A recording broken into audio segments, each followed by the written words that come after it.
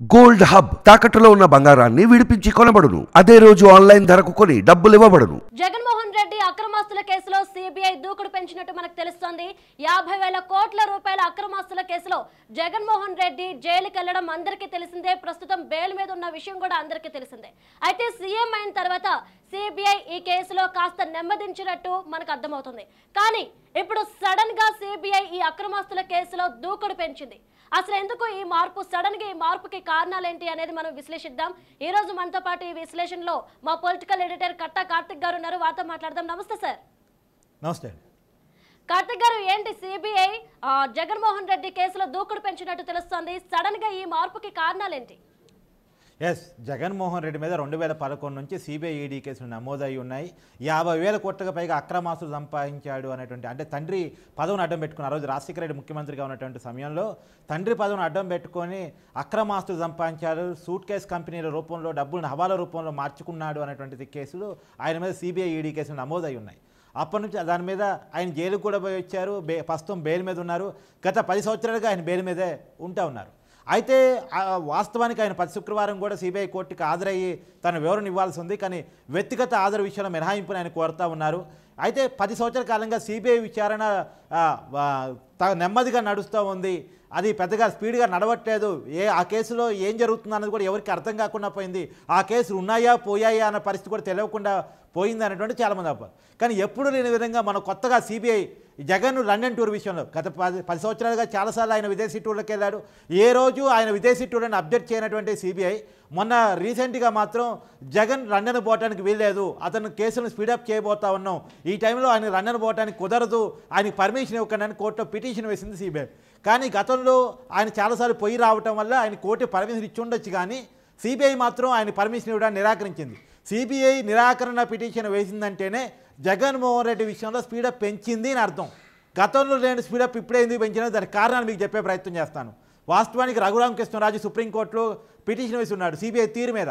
జగన్ కేసులో సిబిఐ ఉపశమనం ప్రదర్శిస్తూ ఉంది కావాలని ఉదాసీనత ప్రదర్శిస్తూ ఉంది చాలా లేట్గా విచారం చేస్తూ ఉంది స్పీడప్ చేయట్లేదు ఆ కేసులు పక్కన పడేసింది అనేది రఘురామ కృష్ణరాజు పిటిషన్ వేశాడు. ఆయన ఎందుకు బెయిల్ క్యాన్సిల్ చేయట్లేదు?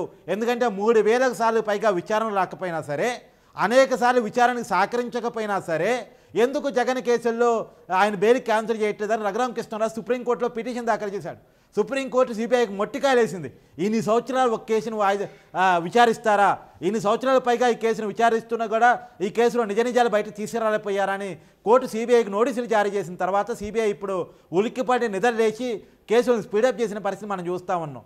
ఇప్పుడు ఇన్నాళ్ళు అంతే ఇరవై రెండు పార్లమెంటు సీట్తో నూట యాభై ఒకటి అసెంబ్లీ సీట్లో ఇటు రాష్ట్రంలోనూ అటు కేంద్రంలోనూ జగన్మోహన్ రెడ్డి అటు పార్లమెంట్లోనూ ఇటు రాష్ట్ర అసెంబ్లీలోనూ బలంగా ఉన్నాడు కాబట్టి జగన్మోహన్ రెడ్డి అవసరం కేంద్రానికి ఉంది అంటే రాజ్యసభలో అవసరం వస్తుంది కాబట్టి కేంద్రం కూడా జగన్మోహన్ రెడ్డి చూసి చూనట్టు పోయింది.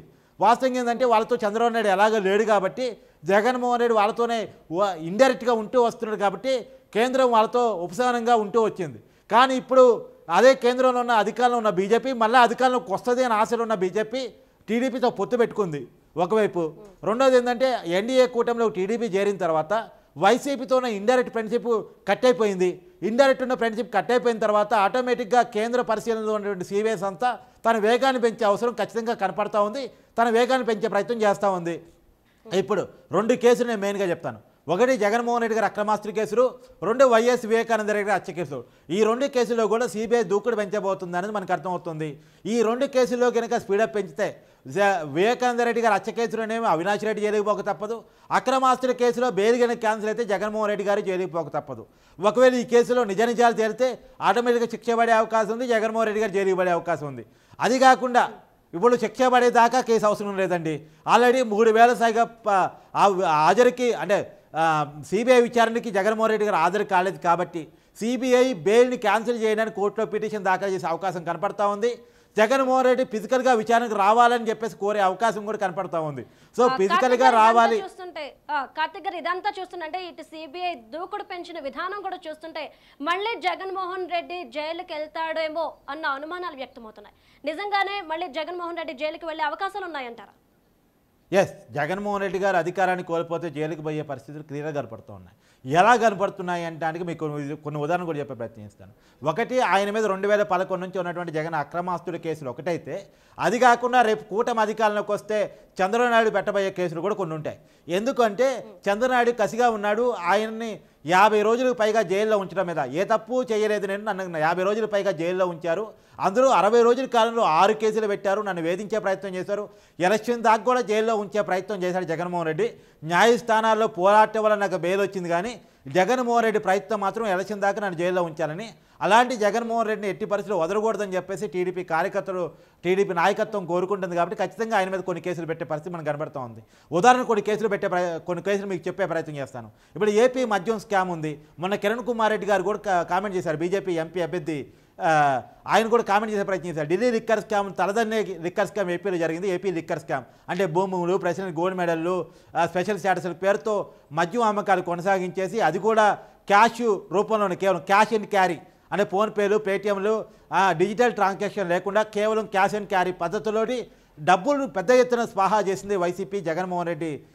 అనేది ఆల్రెడీ ఆరోపణలు ఉన్నాయి కాబట్టి ఏపీ లిక్కర్ స్కామ్ మీద ఖచ్చితంగా సిట్తో విచారించే అవకాశం కనపడతా ఉంది. రెండు వైజాగ్లో భూములు కుంభకోణం భూములు కబ్జాలు వాటి మీద ఖచ్చితంగా ఆయన కట్టుకున్న ప్యాలెస్ ఏదైతే ఉందో వైజాగ్లో దాని మీద కూడా కొత్తగా కేసులు పెట్టే పరిస్థితి మనకు కనపడతా ఉంది.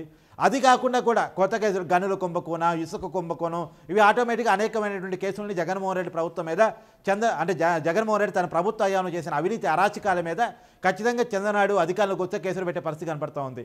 అయితే పాత కేసులు లేదంటే రాబోయే కొత్త కేసులు. ఏదో కేసులో జగన్మోహన్ రెడ్డి గారు జైలు జీవితాన్ని మళ్ళా చూడక తప్పదు అనేటువంటి రాజకీయ విశ్లేషణ అయితే రాజకీయాల్లో వినపడతా ఉంది. కార్తిక్ గారు మరి ఈ విధంగా చూసుకుంటే కనుక ఒకవేళ జూన్ నాలుగవ తారీఖున వచ్చిన ఎలక్షన్ ఫలితాల్లో జగన్మోహన్ రెడ్డి గెలిచి మళ్ళీ సీఎం అయితే మరి సిబిఐ కేసుకి సంబంధించి ఏ విధంగా ఉండబోతుంది? ఒకవేళ ఓడిపోతే జగన్ పరిస్థితి ఏంటి? వాస్తవానికి టెక్నికల్గా చూసినప్పుడు జగన్మోహన్ రెడ్డి గారు సిబిఐ సీఎంగా ఉన్నా ఉండకపోయినా సిబిఐ దూకుడిగా వెళ్ళాల్సిందే. సిబిఐ తన కేసును తన కేసుగా విచారించాల్సిందే. ఇప్పుడు ఎగ్జాంపుల్ ఢిల్లీ లిక్కర్ స్కామ్లో ముఖ్యమంత్రిగా ఉన్న కేజ్రీవాల్ అరెస్ట్ చేయలేదా?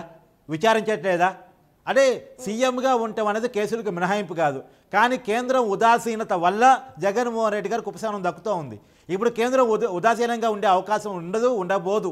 ఎందుకంటే ఆల్రెడీ ఎన్డీఏలో చంద్రబాబు చేరాడు కాబట్టి ఎన్డీఏతో ఇప్పటివరకు ఇండైరెక్ట్ ఫ్రెండ్షిప్ కొనసాగిస్తున్న వైసీపీతో మైత్రి బంధాన్ని బీజేపీ తెంచుకోవచ్చు. బీజేపీతో మైత్రి బంధాన్ని కనుక వైసీపీ వైసీపీతో ఉన్న మంత్రి- మైత్రి బంధాన్ని కనుక బీజేపీ తెంచుకుంటే ఖచ్చితంగా జగన్మోహన్ రెడ్డి గారి కేసులు స్పీడప్ అయ్యే అవకాశం ఉంది. ఖచ్చితంగా జగన్మోహన్ రెడ్డి గారు రాబోయే కాలంలో మరోసారి కాకపోతే ఏంటంటే జగన్మోహన్ రెడ్డి సార్ మరోసారి అధికారంలోకి వస్తే స్టేట్లో ఇప్పుడు నేను చెప్పాను కదా ఏపీ మద్యం స్కామ్కి సంబంధించి కానీ ఇసుక కంపు కణాలకు సంబంధించి కానీ ఈ కేసుల విషయంలో చంద్రనాయుడు పిటి మళ్ళీ కొత్తగా సిట్ పేరుతో విచారణ చేసే అవకాశం ఉండదు. ఆ కేసుల విషయంలో ఉపశమనం దక్కొచ్చు. కానీ అవి కూడా కేంద్రం విచారించవచ్చు. చూడాలి మరి. Okay right. Thank you so much Karthik garu.